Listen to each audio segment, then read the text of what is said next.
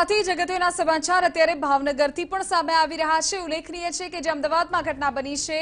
ત્યારબાદ હવે Bhavnagar municipal corporation જાક્યું છે કોરોનાની સારવાર કરતી ખાનગી હોસ્પિટલોની તપાસ કરવાનો આદેશ અપાય છે ફર્સ્ટ સેફટી છે કે તેની તપાસ કરવાનો આદેશ હવે